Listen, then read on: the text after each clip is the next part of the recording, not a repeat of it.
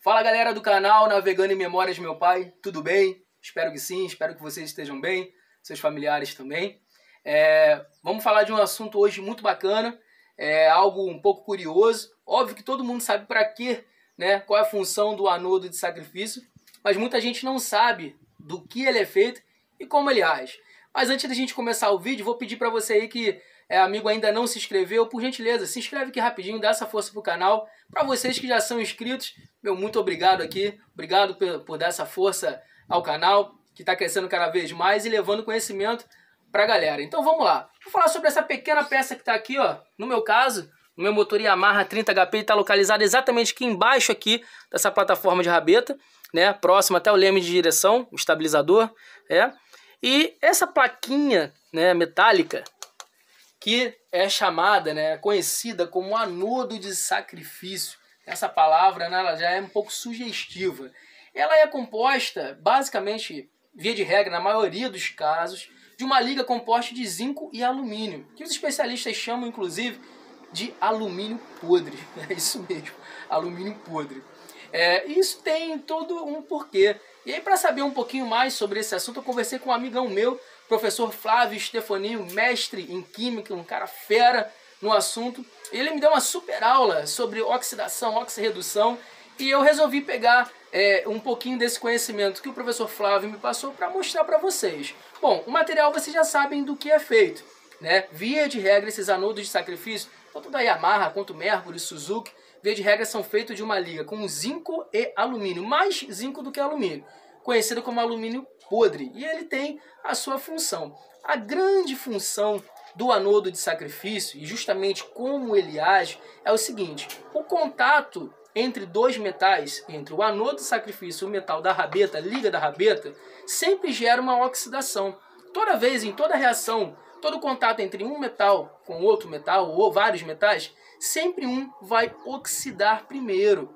E esse anodo de sacrifício é instalado aqui de forma proposital, para que nessa reação entre o próprio anodo e a liga da rabeta, ele oxide primeiro, assim protegendo o restante do motor.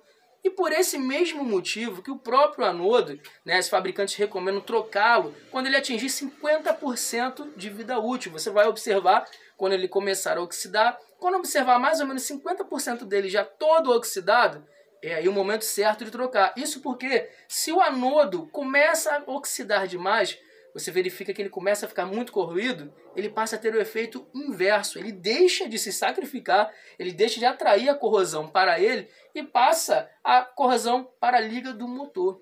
É por isso que ele recebe esse nome estranho, anodo de sacrifício. É um sacrifício para proteger a integridade metálica da liga do seu motor de polpa. Então eu achei bem interessante essa informação né, passada para vocês.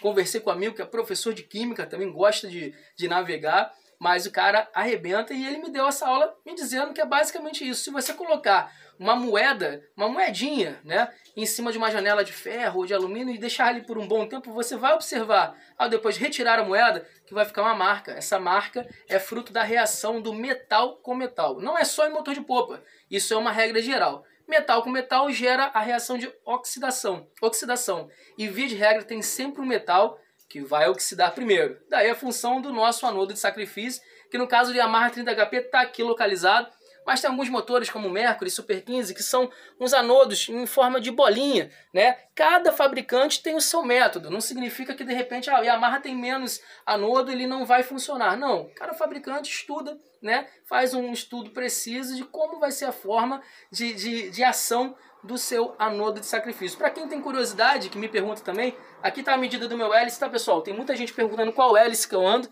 É o 978 espaço 13 F é a minha hélice original, não troquei a hélice, ok? Podem ver até que ela tá um pouquinho, né, afiadinha já de tanto chegar na areia e a gente demorar a levantar a rabeta. Mas enfim, pessoal, achei que vocês gostariam dessa informação. A liga de zinco com alumínio, o alumínio podre, e a função da reação de metal com metal e o anodo vai primeiro se sacrificando para proteger a integridade do nosso motorzão. Então valeu, pessoal. Obrigado aí. Espero ter sido uma informação útil e rápida para vocês.